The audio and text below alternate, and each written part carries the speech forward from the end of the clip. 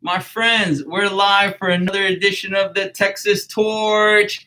Guys, there's no skit. There's no like, you know, I'm told what to say or I have bullet points on, you know, what I'm going to talk about. I do have like topics. Like today, for example, we're going to talk about what attorney uh, Eric Dick asked us to discuss and also Ms. Jackie Struss asked us to discuss paralegals. But we'll step a little bit uh, more further than that and talk about staff and employees, not just paralegals. Um, I'd like to thank Mr. Dick, Attorney Dick, for chiming in, and Ms. Jackie Struss.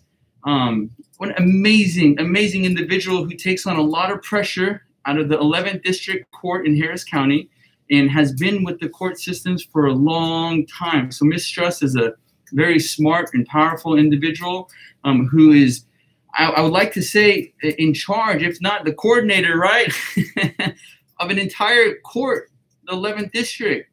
And like a paralegal, she has duties that are right there at the judge's duties as well.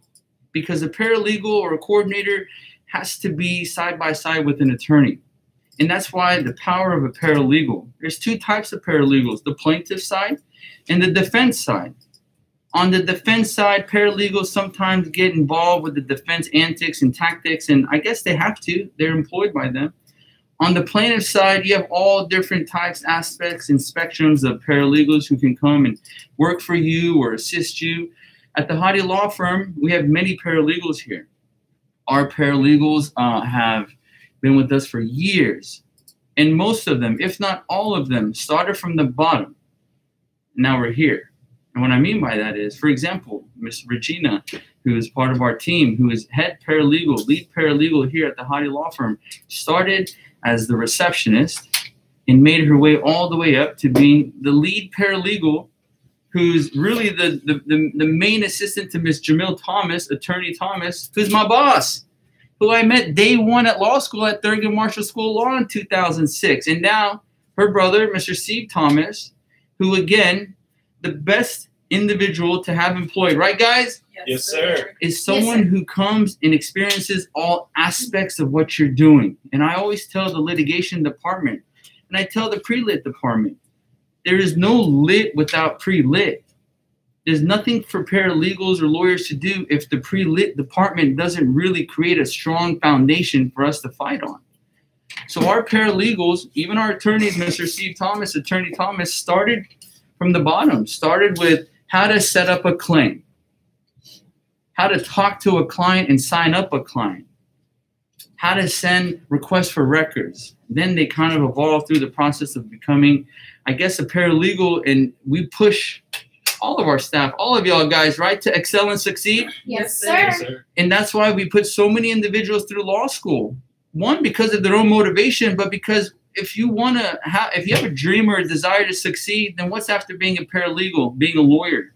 And that's why the job of a paralegal is so valuable because they carry all the stress that attorneys really don't need to deal with, such as day to day calendaring, day to day task monitoring, file reviewing, document reviewing, discovery reviewing and drafting, discussing cases, deposition preparations. Attorneys are always involved in monitoring, but as an attorney, we can't always be there. So that's why we rely on a good paralegal or good staff. Guys, are y'all paralegals? Yes, sir. Yes, sir. No, y'all are not, guys. Y'all are y'all are pre-litigation. We're gonna be. We're gonna be. No, man, y'all are pre-litigation killers, right? Yeah. yeah, but if you have a desire to be a paralegal, we discussed that last week. You already have the knowledge and foundation of what it is that's done in pre-lit to create that gift. It's like a gift you give to the. Hey guys, in pre-lit we couldn't settle this case. Geico told us to go do what you got to do here you go. A little, you know, like a Fabergé egg, just a beautiful egg. All they have to do is just, you know, mold it a little bit more and put it on the counter and kill it. Prepare the case and go to trial. And that's the hardest part, right? That's where a paralegal's job comes in and organizing the files and making sure documents are filed with the courts correctly, following up with records, affidavits. We have a whole medical team because gathering medical records for a paralegal to review and finalize and create something such as a notice of filing of affidavits, which is required under the rules under 18001, which got modified in 2019. Now you have to file your affidavits. There are some nuances, but you pretty much got to file all the records for treatments already been received prior to filing suit within 90 days. And there's nuances. You can agree to change your, but the law changed, which is good. The law changed again this year.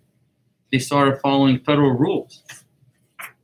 It speeds up the process of litigation. It allows us now to not have to sit and wait three, four years. Insurance companies can't delay and deny and defend, and it helps us facilitate the cases and hopefully efficiently and effectively uh, with no delay. Now we have COVID that's creating a very strong delay, but we have many judges out there in Harris County and a lot of counties and all around the United States who are putting themselves on the line, trying to push cases to go forward, knowing that COVID's there, knowing the risks associated with their court staff, with the people that have to set up and monitor these trials. And I think we started virtual jury trials, which is a blessing also. But until COVID completely disappears, everything's kind of at a little slow, snail pace, They'll stalemate. Um, but even then, the paralegals uh, are a little overwhelmed because the litigation aspect of what we do kind of exploded and magnified because there's no trials. So lawyers are finding more time to be able to review cases and, and organize or better prepare them. And that's where the paralegal comes in. Paralegal's job isn't to go get you coffee or, you know, go book your flight. You know, you can do that as an attorney. You can go get your own coffee. It's, you know, it is what it is. the paralegal has to be focused and motivated because they're your right hand for the most part. You trust that paralegal to keep you on track. The one thing that us as attorneys have to monitor are deadlines. And deadlines change all the time. And we can always ask for an extension on deadlines, but you don't want to miss a deadline and then have to go and ask someone to help you with that deadline. Um, paralegals, you know, on the defense side, I don't think they should buy into the whole defense tactic of being aggressive or delaying or denying opportunities for depositions, but they have no choice. That's who they're getting the check from. On our side, we tell everyone to just be fair and reasonable and follow the process of the rule of law. And if you don't like what the other side says, let's discuss it. Follow your motions. Follow motion to compel. But we're not going to give you the defendant's depo until you give us the plaintiff's depo. Let's talk about that aspect real quick from the start of my career, the hardest thing for me to get, pre lit or lit, is a statement from the individual, most cases the defendant, who brought harm to your client. You ruined this person's life and you won't let us talk to them? Nope. Ask them what they were doing? Nope. Where they were coming from? Nope. How much alcohol they had? No. Why they did this? No. Were they texting? No. Nothing. We can't ask them any questions? No. We want to talk to your plaintiff first which I don't understand, other than like a, a, a, a, a tactic to intimidate. I don't get why they want to talk to the plaintiffs first. Most of the time, you get a recorded statement if you snag it before we step in. You have the police report. We've sent you a demand with the medicals. Nothing changes. Well, the adjuster wants to. Who cares? The who? The adjuster I sued your insured defendant. You represent that insured. Who cares about this puppet master wannabe adjuster? They have no say when it comes to litigation. I had a lawyer from Liberty Mutual, and I won't name names. I know I've named names in this video, in the prior videos, but this one, I'll let him slide. But he asked my clients at a deposition, and there's a video on my YouTube page where State Farm tried that. Y'all saw what happened, right? He asked my clients a month ago in a deposition, Do you understand that we've made this offer to settle this case? And my client said, I'm not sure. Because our clients were advised to never discuss any aspect of resolution or settlement that they have with me or any other individual in my office. That question got them off the case. They hired another law firm in Dallas. Now, Liberty Mutual, who tried to come and do my job wear my shoes. Guys, depositions is not a, a venue to all the plaintiff lawyers out there. If a defense counsel during a deposition says, do you understand we try to make an offer objection form? Don't answer that. Stop. What are you talking about here? Well, I just want to know if your client knows we're trying to settle. Well, you, I represent. You can you want to talk settlement, talk to me, but you can't talk settlement in a deposition because you can't talk settlement in court. Who's we? State Farm? You saw it in the video, right? She quickly no, say say. You understand state? Do you understand Geico is trying? Do you understand Liberty Mutual? So when we go to trial, you just open the door. The one rule that y'all fight: don't let the jury know there's insurance behind this poor little defendant. And you open the door by asking my clients how much they want. So it gets to a point to where you can't litigate anymore. You can't defend your position. Our paralegals are blasting you, and you think it's a good thing to come and ask my client how much do they want? Well, please, why? Why? Because if they tell you how much, you're gonna write that check for them. Shucks, man. You know, my shoes aren't too big, probably like size 10 and a half. You know, if you want to, please come wear them. It's not the size of the shoes or whether or not it fits, it's whether or not you can tolerate the pressure that comes with wearing those shoes. And that lawyer got in trouble. I should have sued him for tortious interference, but I let Liberty Mutual slide on that one. I've sued other lawyers for that. You see the video on YouTube. Good paralegals protect you from those situations because they prepare the clients they remind the clients remember, this deposition is about liability and damages. And when I say damages, not settlement numbers or what you want for settlement purposes, but damages. What harm was caused to the plaintiff? Um, let's keep going. Let's talk a little bit more about uh, paralegals. Our staff here understand that we always go first in depositions because we have the burden.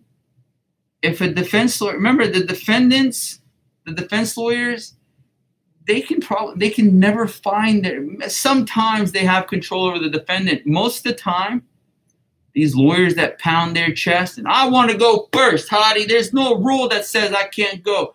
What, what are you doing man? Are you hiding? You don't you haven't talked to your defendant have you? You haven't said anything to this person for a long time have you? Yeah. I know who my client is. We talk to him all the time and I hope the judges realize that eventually, not only do the plaintiffs have the burden, oh, here, pro tip. Here's a pro tip. January of 2019, we started adding requests for depositions in our petitions. Every single one of them, either for an individual defendant or corp rep, if the situation involves a corp rep type situation, a corporate representative. You think people like that? no, they hated it. And they start following motions for this or that or that. There's no rule. Hadi thinks there's some magical rule that says he goes first. Okay, well, well, guys, at trial, don't the plaintiffs go first? Yes, yes, they do. Okay.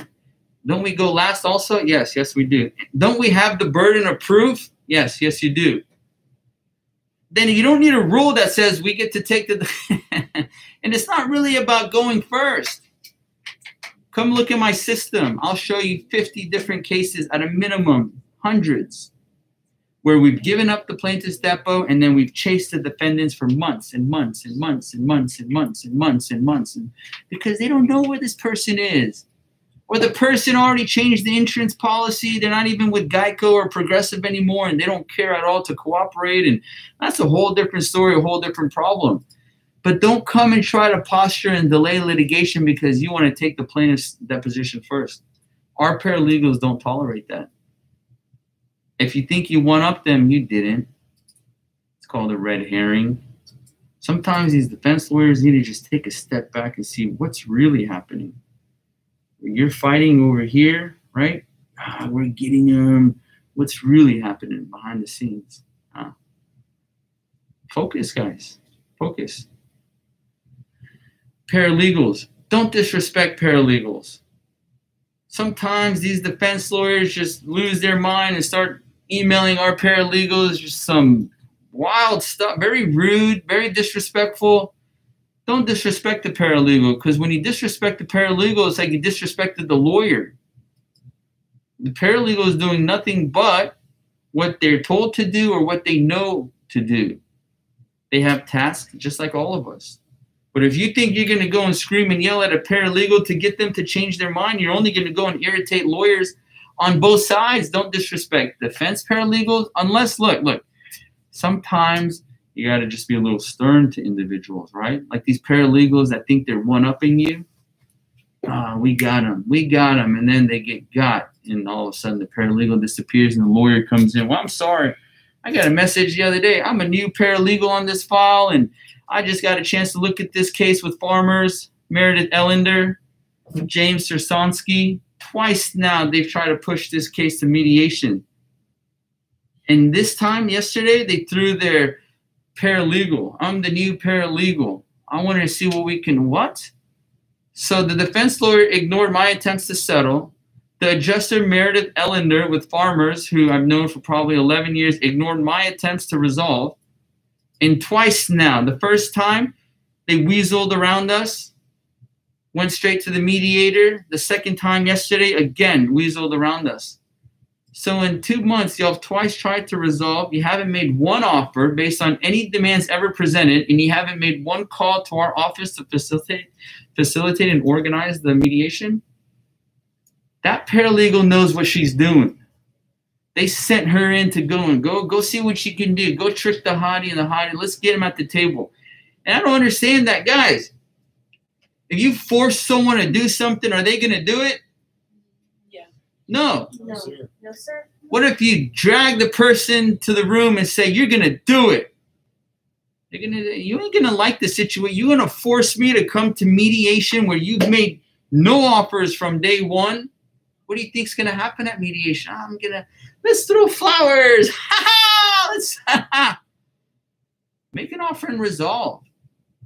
The worst thing someone can do is compel mediation or force mediation. You've had years to settle, years to settle. But that's what always happens.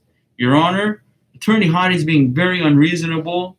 Your Honor, the Hadi law firm won't negotiate or try to resolve cases. Of course we do. That's all I ever tried to do was resolve cases, and y'all said, go do what you got to do. I don't file suit to come sit at mediation. No way. No way. Because you go sit there again, it's the same thing. Remember that traditional negotiation? They eventually stop. And when they stop, okay, I guess you reach the end of your piggy bank. That's all we got, guys. Take it or leave it. Okay. Well, record shows we leave it every single time. Every single time. Take Farmers Insurance, for example. Got different insurance companies have different risk levels. Allstate, they don't care. They go to trial. But even Allstate, even Allstate now cares and pays us now because they're tired of losing to us. They pay other law firms as well, not just us, because other law firms fight them, right? Like Johnson Garcia, my friend Will Mejia, popped them on November 11th out of Montgomery County for $111,000. Allstate's tired. So the most risk, the, the most risk-taking insurance company, Allstate, is getting tired. How about everyone else under them? State Farm, Let's talk about State Farm real quick. Shane Osborne with Martin Disiere cheated in Galveston County, and then the 14th Court of Appeals on December 10th admonished him for cheating. Wow.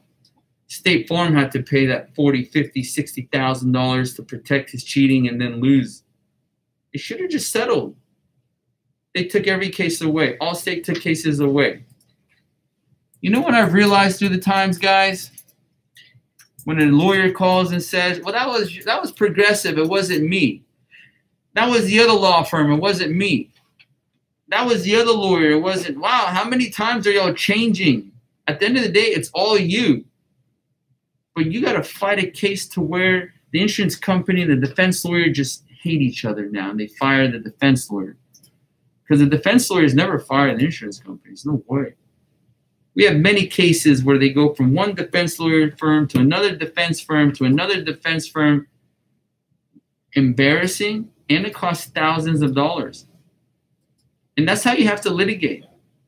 You have to create that division between the defense firm and the insurance company because by law, the insurance company doesn't represent on these tort fees or third party cases, they don't represent the insurance. The defense firm doesn't represent the insurance company. They represent the person who purchased the insurance policy. They get that mixed up all the time. And eventually, before you know it, we go to mediation, negotiating on other issues other than the facts of the case. When I try to settle pre suit based on the facts and merits of the case, no one ever cares. When you file suit all of a sudden, hey, Hadi, well, what? Nothing changed? The accident was three years ago. What changed? Hey, Hadi, we just kind of want to settle this case. Oh, God bless. That's all I ever wanted to do. And the best part about all this, my friends, I told every single insurance, go look up my bar number. Over 1,100 lawsuits filed, over a thousand in the first 10 years. I told every single adjuster and lawyer, you're only going to teach me. And they did. I hate to say they taught me, but they put their neck on the line and let me, you know, slit it, pull the rope on the guillotine because they said, Hadi, go do what you got to do. And now what do they say, guys? Hadi, stop doing what you got to do, right? Yes, sir. sir. All day. Guys, it's a little early. We have our coffee going, but coffee going, but you know, my staff's a little sleepy. So um, one thing we do here at the Hadi Law Firm is take breaks, on the clock breaks, once or twice a day, five, ten minutes, maybe stretch a little bit, maybe, you know, just pop your neck, relax, recover. So any questions, guys, let us know. I might not do this every day, but I'm definitely going to try to, you know, turn on this video. Look, we got a little camera here too, guys. Look, see? A light. Sorry, I got a light that's shining on my, is it bright? Yeah, shine bright like a diamond. Treat your paralegals res- with, with respect. Treat paralegals on the other side with respect. Treat all staff with respect. Because at the end of the day, paralegals may have been underlying staff members in pre-lit that became a paralegal and worked their up. And paralegals become lawyers. Many paralegals become lawyers eventually. So, any questions? Info at thehadilawfirm.com. We're always here to uh, entertain. Oh, by the way, guys, we set a record yesterday. Four cases settled with Geico. What a blessing. We set a record last year. If you go to don'ttrustthegecko.com, you'll see we're the only law firm in the world to sanction Geico through the Texas Department of Insurance for $5.2 million because of our efforts in helping them. And they had to change their entire worldwide. They're only in the United States, I can say worldwide, but they had to change their entire claims handling practice. How Geico evaluates claims changed because of the Hadi Law Firm and the power and strength of the staff. Thank you guys. Yes, sir. Any sir. questions, call, email us anytime. We're always here to have fun with y'all. Happy Wednesday.